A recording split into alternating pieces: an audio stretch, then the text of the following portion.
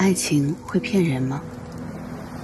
至少在我看来，爱一个人的眼神从不骗人。我看见你笨拙，你可爱，甚至你不知所措。是这些啊，让我知道你的爱从未缺席。最喜欢和你散步，看见什么聊什么。如果不是你，我并不在意今天云什么形状，那家甜品店是否营业。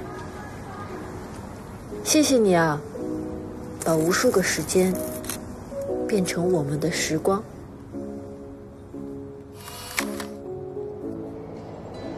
你知道吗？你迟到了好多年。但我依然为你的到来而感到高兴。这一次，我不会再错过你的站台啦。那以后，一定要抓紧我呀！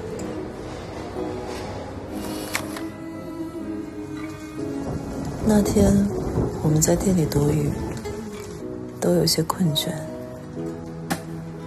停电了，你愣了一下。突然拥过来，吻了我。我们像两个一同扎进夜色里的孩子。我看见你眼里的星辰，直到灯亮起，一切回归如常。你说：“我们回家吧。”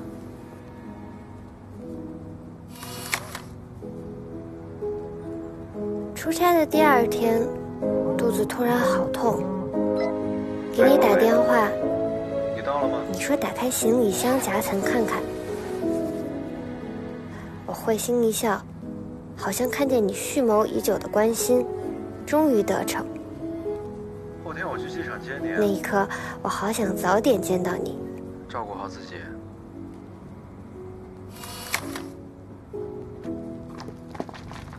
我们终于有家啦！这是你为这个家购置的第七个物件。我们的面前空空如也，你的眼里却满是我们的未来。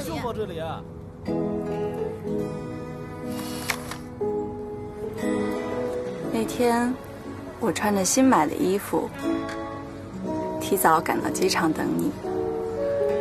我几乎是第一眼就找到了你。